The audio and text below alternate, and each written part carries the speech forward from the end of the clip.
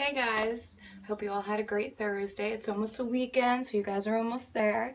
Sorry I look a little crazy right now. I just got back from a pretty hard workout. But I wanted to share with you guys something that I witnessed at the gym today that I really wish hadn't happened, but I'm glad that it did so I can inform all of you and hopefully stop this from happening in the future. So while I was at the gym, I was working out in the women's workout room. I like to do my cardio and my um, abs there. And as I'm doing my abs, listening to my music, you know, doing my own thing, I couldn't help but overhear two other girls talking about somebody else that were, was in the same room as us. And of course, this other girl was a little heavier than they were, and they had been judging her for her weight. I understand that this woman was a little overweight and there are people out there who go to the gym who are overweight and they're there for a reason. They're there to better themselves. They're there to feel good about themselves, to better their quality of life.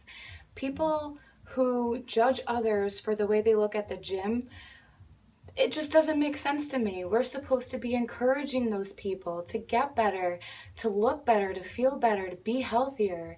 And for those of you who like to judge others who are at the gym, think twice before you speak. These two ladies that were making fun of this other person were talking so loud that I overheard them. I had my, my music blasting, I was doing my own thing, and I overheard them. So if I could hear them while I'm listening to music, this other lady could hear them talking about her as well.